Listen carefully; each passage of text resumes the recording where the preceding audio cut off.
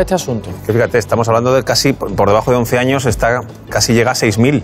Eso significa que en una clase de 30 niños, 1,7 están infectados.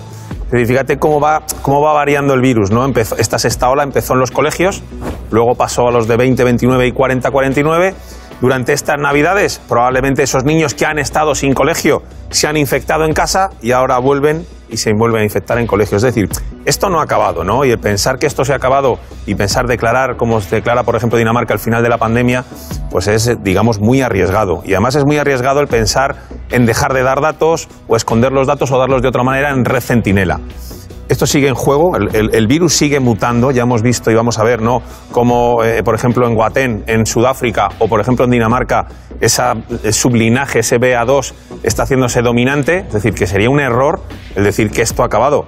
Es verdad que para nosotros ahora en los servicios de urgencia empieza otra ola, que es la ola de la gente que no ha acudido estos, estas, estos dos meses a las urgencias y empezamos a verlo, ¿no? Esta gente que tenía miedo, qué tal, y esta gente que, por ejemplo, en primaria, porque están colapsados, pues no ha tenido un seguimiento, todo esto lo estamos viendo.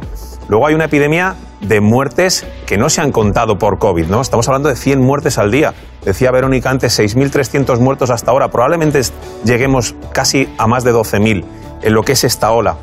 Entonces, eh, estos muertos son evitables. ¿eh? Vamos a, eh, tendríamos que empezar a pensar en toda esta, esta gente que se ha muerto. Podíamos haberlo evitado, podíamos haber hecho. Es que se pueden hacer cosas, además de la prudencia. Lo de aconsejar prudencia ya.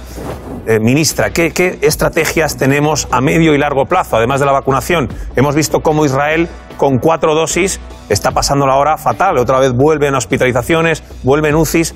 ¿Qué otra estrategia hay además de la vacunación? Aquí se lo preguntaste tú, que dije, "Oye, además de la estrategia hay algo, aconsejar prudencia.